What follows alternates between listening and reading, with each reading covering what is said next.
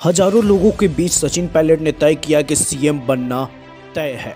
बता दें कि जिस तरीके से सचिन पायलट के साथ लोग इतना ज़्यादा उत्साह दिखाते हुए आगे में बढ़ रहे थे, उसको लेकर जन संघर्ष यात्रा भी निकाले, वो भी तिलतिलाती धूप में लोगों ने इतना ज़्यादा सचिन पायलट को प्यार दिया और जिस तरीके से जन संघर्ष यात्रा में सचिन पायलट ने सभी को संबोधित किया, वो आज भी तय कर रहे हैं कि सचिन पायलट ही मुख्यमंत्री बनेंगे।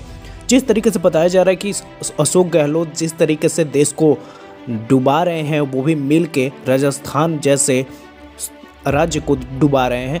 उसको लेकर सचिन पायलट ने बड़े बड़े खुलासा किए हैं कि जिस तरीके से वसुंधरा राज्य के खिलाफ उन्होंने कार्रवाई नहीं की और उसको छोड़ दिए, उसको लेकर यहाँ पे बड़ा मुश्किल कर दिए हैं। जिस तरीके से अशोक गहलोत के ऊपर बड़े बड़े दावे लगा रहे हैं सचिन पायलट, उसको बहुत ज़्यादा उम्मीद से कह रहे हैं। यहाँ तक कि सचिन पायलट को सपोर्ट भी मिल रहा है जनता से कि हाँ अशोक गहलोत ने बड़ी गलती कर दी है। तो जिसको लेकर राजस्थान सरकार के तरफ़ से ये पूरी कोशिश कर रहे हैं कि राजस्थान सरकार उन अशोक गहलोत क्यों नहीं, सचिन पायलट को मुख्यमंत्री बनना चाहिए।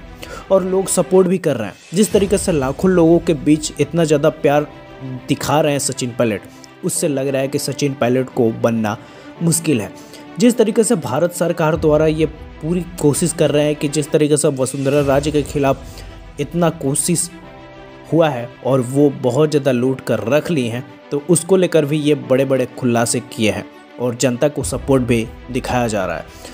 तो जिसको लेकर हज़ारों लोगों के बीच सचिन पायलट ने खुलासा किया तो हज़ारों लोग भी कह रहे हैं कि हाँ सचिन पायलट को बनना मुख्यमंत्री तय है। तो इसको लेकर आपके मन में क्या सवाल है? नीचे कॉमेंट बॉक्स में हमें ज़रूर बताएँ और आपने अभी तक चैनल को सब्सक्राइब नहीं किया है तो कर सकते हैं।